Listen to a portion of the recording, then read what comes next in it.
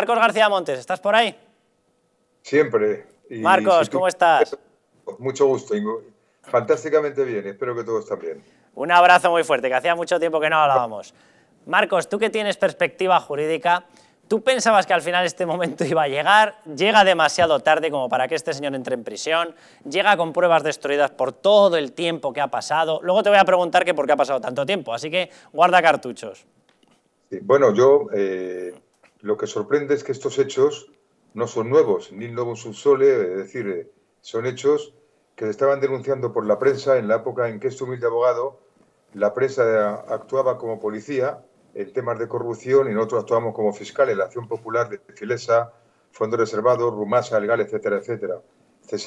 Entonces, a mí lo que me sorprende es que desde hace 20 años, en que por primera vez se habla del 3 y el 4%, lo dicen directamente en el Parlamento de Cataluña, nadie hace nada con esto, han dejado pasar el tiempo, se ha incuado un sumario, por cierto, con un buen juez, juez de la Mata es un hombre serio trabajando, sin perjuicio de que con él tengo yo muchas contradicciones, muchas controversias dentro de la cortesía forense, hay cosas en las que como defensor de diferentes personas no estoy de acuerdo con su instrucción, pero reconozco que es un buen instructor.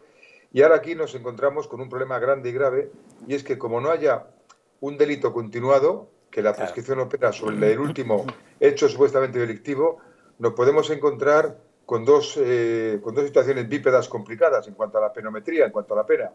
Y una es que haya prescrito el delito y la segunda es que, aun no habiendo prescrito, haya unas dilaciones indebidas muy cualificadas y en este caso bajen la pena a dos años, prácticamente sería una multa o una pena que no se cumpla. Con lo cual, el efecto del ejemplo o los fines de la pena, que es el fin general para que la gente vea que no se puede andar así por la vida, y el fin particular para que no cometan más delitos, al final queda, queda fuera del lugar, ¿no? Marcos, recuérdanos esa fecha, la estoy buscando yo ahora, cuando en el Parlamento catalán, porque quiero recordar que fue 2003 o por ahí, no sé si fue dos, o 2005 puede ser, cuando se denunció efectivamente en sede parlamentaria en el Parlamento de Cataluña en plena negociación del Estatuto catalán, no de estas burradas que tenemos ahora, no, de la burrada inicial, el Estatuto catalán, y lo dijo, yo creo que fue Maragall, efectivamente, el que dice, ustedes tienen el caso 3%, dice, el caso 3%.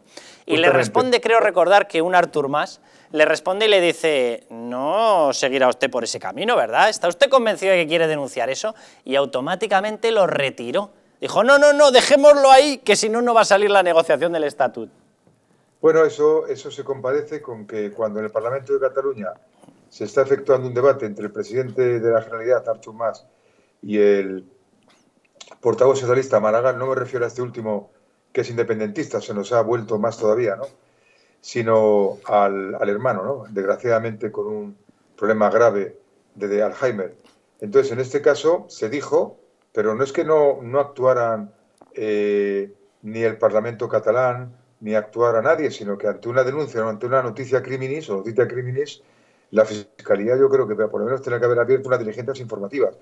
Esto, que efectivamente tiene usted razón, fue a principios del año 2000, han transcurrido 15 años y de luego en 15 años los 5 años de la prescripción de los delitos económicos normales, falsedades, etcétera, operarían y los agravados de 10 años también operarían, con lo cual nos encontramos en una prescripción de 15 años que sería aplicable a delitos de asesinato y violación. Es decir, que mucho me temo que aunque el juez seguro que lo ha atado muy bien, pero a lo mejor la Audiencia Nacional, cuando la Sala de lo Penal enjuice el asunto, pues tendrá que estimar la prescripción del delito. Marcos, fíjate, febrero de 2005, pleno del Parlamento catalán. Su problema se llama 3%, dice un Pascual Maragall en aquel momento, presidente eh, de la Generalitat en respuesta a la intervención de Artur Mas. Dice, por entonces en la oposición. Bueno, tiene usted un problema con el 3%, lo acabó retirando. Acabó retirando la frase precisamente para que no se investigara. Eh, Marcos, ¿por qué se ha tardado tanto en investigar algo que la policía conocía? Los distintos gobiernos que pactaban con Convergencia de Unión lo conocían. Lo conocían, evidentemente, cualquier persona que hubiese leído los medios de comunicación y hubiese visto cómo se arreaban de extraños zurriagazos porque luego retiraban los zurriagazos para que no fuese investigado judicialmente. ¿Por qué? Si esto se conocía antes de 2005, en 2005 se suelta, etcétera, etcétera, ¿por qué no se ha llegado a juicio hasta ahora? Si mi memoria no me ha fallado, y me suele fallar poco porque tengo memoria fotográfica que dicen que la inteligencia de los tontos, por cierto. Creo recordar, creo recordar que en ese caso eh, se retiró del diario de sesiones del Parlamento. Sí, sí, efectivamente. A petición, del presidente de la Generalidad, Maragall, y del portavoz de entonces Convergencia y Unión.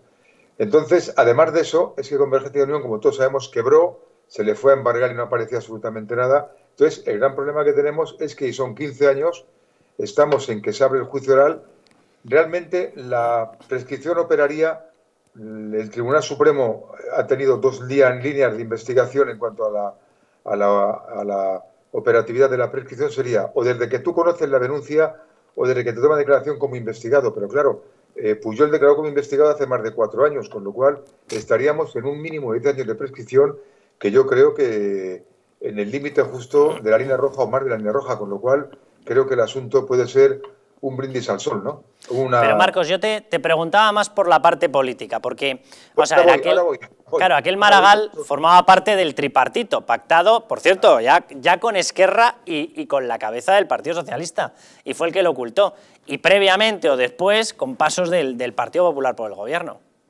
Sí, bueno, todos recordemos que cuando entró a andar en el, en el gobierno, vamos, cuando ganó las elecciones con mayoría no absoluta, tuvo que mandar a rato eh, durante tres meses a viajar a Cataluña para pactar con Convergencia y Unión.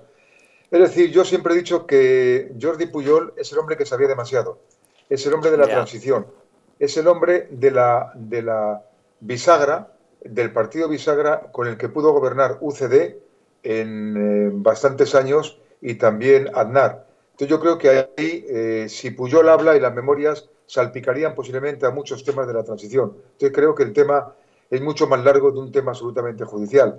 Creo que hay un trasfondo político importante y que ahora que estamos en un momento en que se está revisando todo, desde la transición hasta el rey emérito, al que se le está mancillando permanentemente, y menos mal que hay gente como Felipe González, que con buen criterio están eh, leyendo o releyendo la historia en el sentido de que se juzgue al rey, no a la persona, pues yo creo que si Puyol habla, iban a temblar muchas instituciones, estoy segurísimo.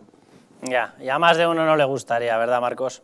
Hombre, sobre todo que iba a levantar eh, noticias y actuaciones y pactos políticos que nadie se podría esperar, porque en definitiva recordemos que la transición se llevó a cabo gracias al, al partido de Convergencia y Unión, a Jordi Pujol, y que era el que tenía mano directa y puerta de entrada abierta siempre con la Moncloa, con el presidente de gobierno y que en definitiva fue gracias a este partido bisagra al que se gobernó. Marcos, un abrazo muy fuerte, cuídate. Y como siempre, si me dices ven, lo dejo todo. lo sé, Marcos. Muchas gracias. Un abrazo fuerte. Jesús Ángel, fíjate, estaba diciendo una cosa,